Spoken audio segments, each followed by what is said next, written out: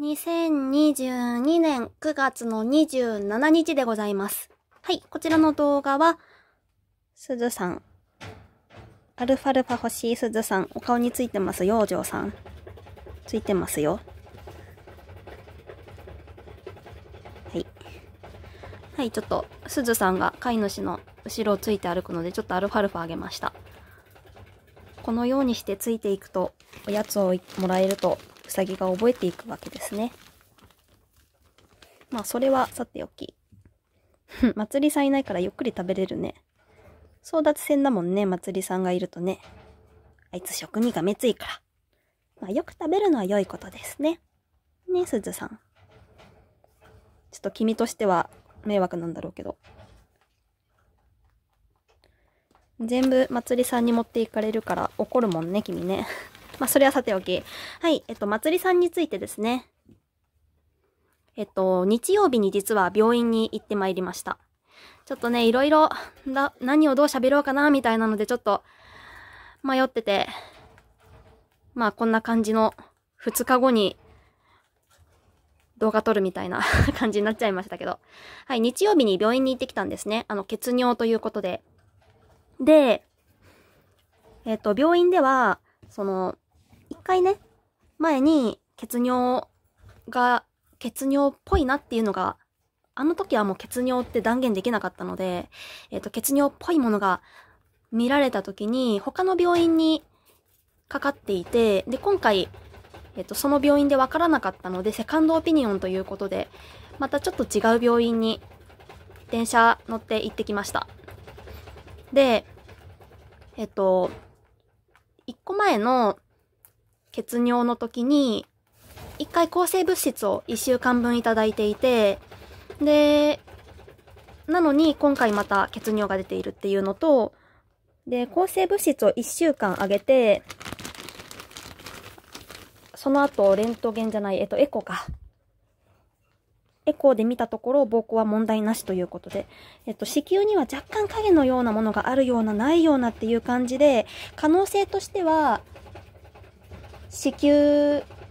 疾患の可能性ゼロとは言い切れないけど、でも、今のところこの移り具合だとそんなに大事にはなっていない。緊急ではないでしょうみたいな。そういう感じの診断だったんですね。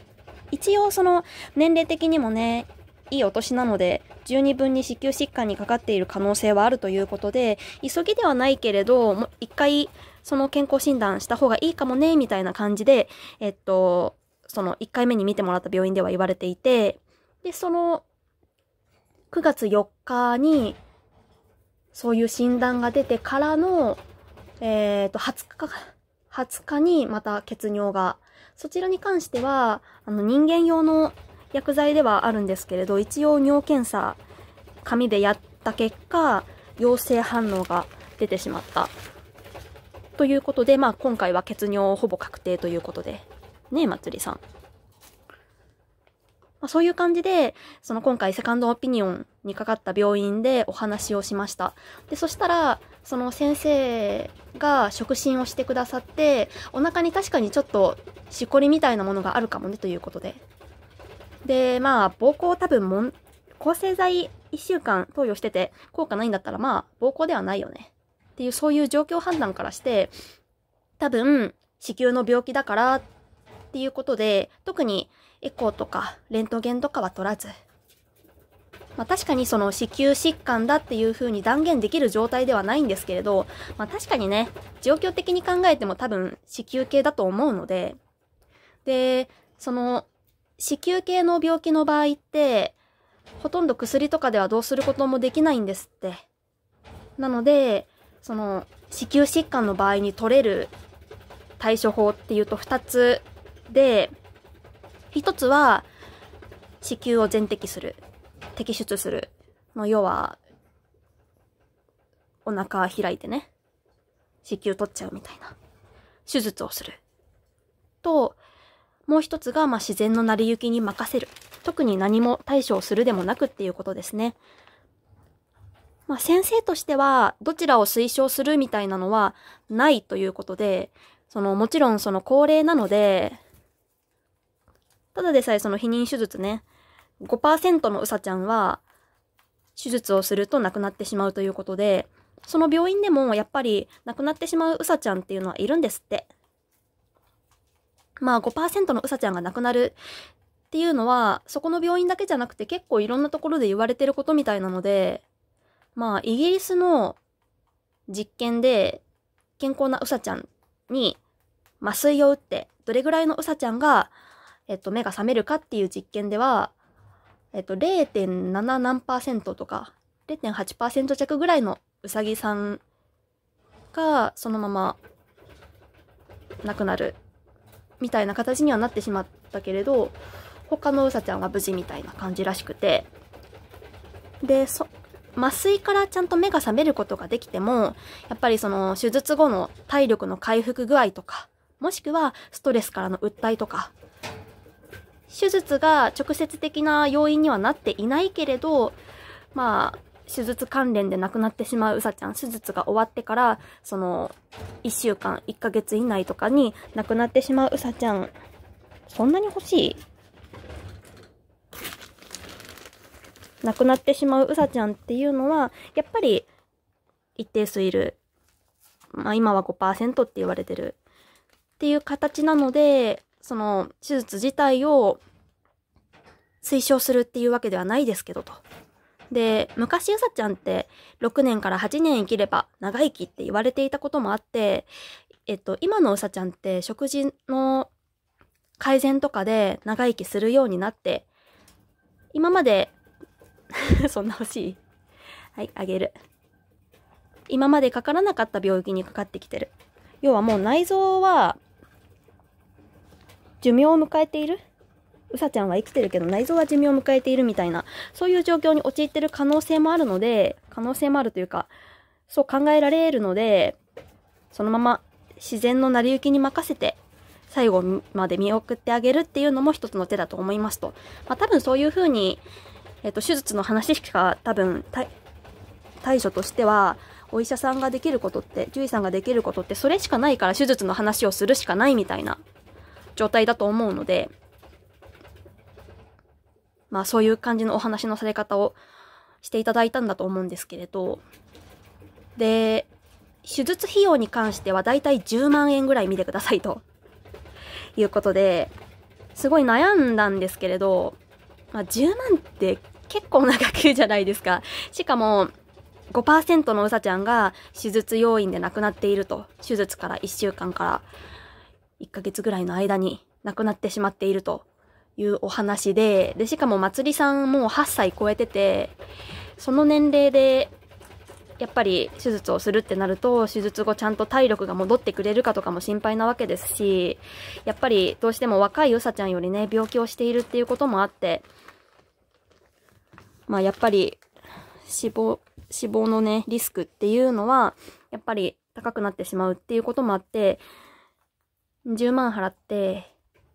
死を買うみたいな、そういうオチになってしまうとやっぱりね、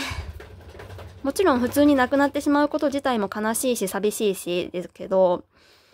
10万払ったのにみたいなのはやっぱり考えちゃうところだとは思うので、私にとってちょっと10万は、その、安くない。安くない。安くないので、なっちゃう可能性もまあ、あるので、こういう時にお金の話ってしたくないですけどね。ただ、やっぱり生活するにも、他のうさちゃんやシマリスさんたちを飼育するにも必要なものにはなってきちゃうのでね。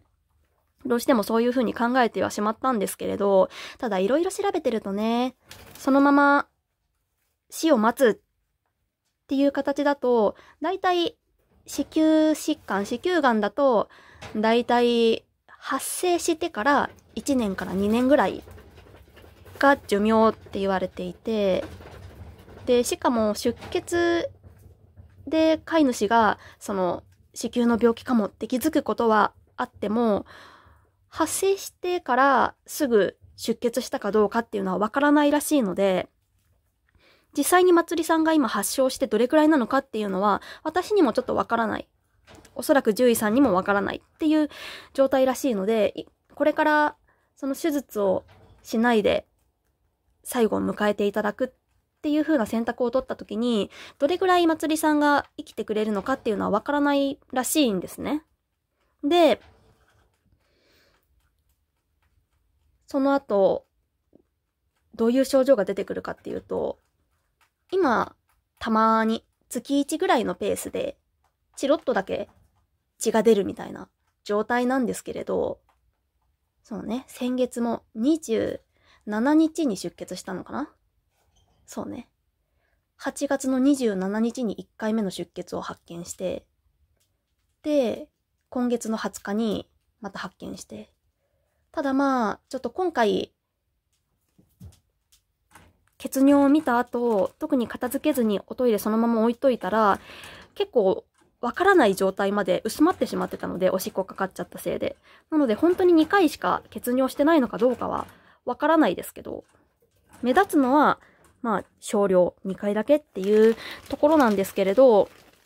これから出血量とかも増えていって、貧血になってしまう可能性もあるようで、そんなに欲しい？めっちゃ乗ってるけど。はい。まあ、貧血になってしまうっていう可能性も、かわいいねあげようねはい。まあ、貧血になってしまうっていうのもあるそうで、あと、がん細胞が増えてっちゃって、子宮が大きくなって内臓が潰されてご飯が食べれなくなって呼吸が苦しくなってみたいな感じで進んでいくそうなのでまあ早い段階で肺に転移した場合はそのまま呼吸困難で早めに亡くなってしまうらしいので早い段階で肺に転移するとちょ最後ちょっと楽かもしれないなっていう感じではあるんですけれどあの貧血とかあと内臓の圧迫とかねそういうのが起こってくると多分めちゃめちゃしんどいままずっと行くっていう可能性もあるのでちょっとそういう最後になっちゃうのはかわいそうかなと思うので、まあ、理想はピンピンコロリだよね。あもしかしたらパッと見、ピンピンコロリに見えるかもしんないけどね。うさぎって体調不良を隠すのが上手な生き物なので。まあでも、できる限り楽していってほしいので、まあちょっとね、手術と、手術要因で亡くなってしまいましたみたいなのは、確かにね、10万払ってそうってなってしまうと、やっぱりちょっと飼い主としてはね、やっぱりね、しょうがないっていうのは分かってても、まあ、ただでさえ、家族を亡くしてしまうっていうのは悲しいし、飲み込みづらいことではあるので、10万払って死を買うっていう結果になってしまうのは、やっぱり頭で仕方がないって分かってても、心理的にはやっぱりどうしてみたいなのはなっちゃう可能性は確かにあるけど、最後めちゃめちゃしんどい思いしていくよりはマシかなと思うので、まあ受けていただこうかなと思ってます。まあ10万はね、なんとかね、飼い主が何とかするところなのでね。まつりさんは、できる限りたくさん食べて、元気なままいていただいて、手術で頑張っていただく。で、手術は1泊2日らしいです。で、手術前に、レントゲンと血液検査をして、肺に転移していたりとか、血が、ちょっと、異常なところがあったりとかしなければ、そのまま手術っていう形になるそうです。何があるかわかんないし、もし家に帰ってきてから、その、異常があったりとかしたら病院にまた連れて行かなきゃいけないので、袋から食べてるし。よいしょ。病院に連れて行かなければならないので、飼い主もね、いつでも動けるように準備はしておかなきゃいけないっていうことで、ちょっと、会社のお休みとかもね、取らなきゃいけない。休めるもしくはその休める状況を作っておかなければならないので、ちょっとね、もう、10月、えっ、ー、と、9月の半ばに一回夏季休暇を取ってしまってるので、残しておければよかったんですけどね。まあ、飼い主にそんなこの予知する能力はないので致し方なしです。なのでちょっと休みが今、ちょっと取りにくいかなっていうところではあるんですけれど、ちょっと休みの調整と、あと、手術の予約とね、すぐ予約取れるかちょっと連絡してみないとわからないので、そのあたりをちょっと病院と連絡して相談して、スケジュールを決めて、まつりさんには頑張っていただこうかなと思っております。はい、というわけで、以上でした。頑張ってください、まつりさん。まあ、進行しないうちにね、早いうちに手術したいね。はい。というわけで、頑張ります。ね。